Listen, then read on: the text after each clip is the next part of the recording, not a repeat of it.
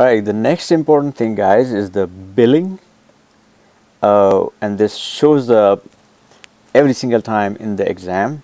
So you can reach it from here, billing, but I just, the sidebar is not very me friendly.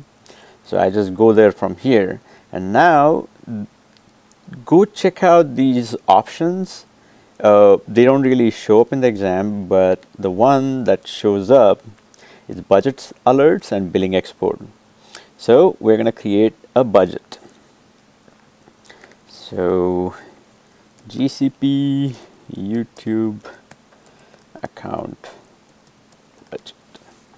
Uh, and you could do it just for one project uh, just for let's just do it for as that YouTube demo but you can let's do it for all for now and then we can create more uh, if this chapter is small then again you can do it on a per service basis like you can just create it for Google Cloud Google Cloud data flow and all um, like this.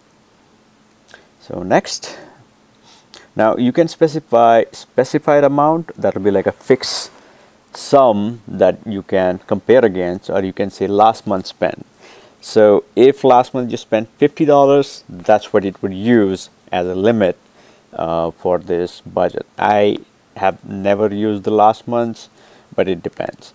So I'm gonna save say $10 now this is the important part for us not for a company but include credits in cost we have $300 in free credits. If you leave this option checked let's say you incur $10 it's going to be less than the free credits you have so you are not going to get a message. But we want to keep track of the credits that we're using. And so we are going to uncheck that box. And now there are three thresholds. You can specify more but these are by default three thresholds. Uh, and you can set it to trigger on actual or forecasted. So actual is basically your actual utilization or actual bill is five dollars.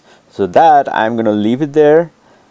The rest you can use forecasted and that's what I use. So I don't want to know once it's already 90%.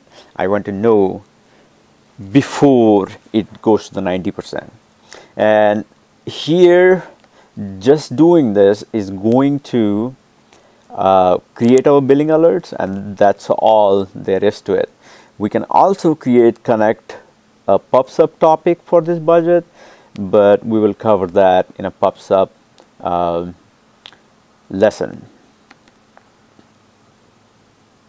And there you go guys. Uh, the billing administrator will receive these alerts and like in our case uh, it's all one and the same thing the different types of users and kinds we will cover when we go into the IAM section. Now in the next section another very important exam topic is billing export to BigQuery or file export and we will cover that in the next section.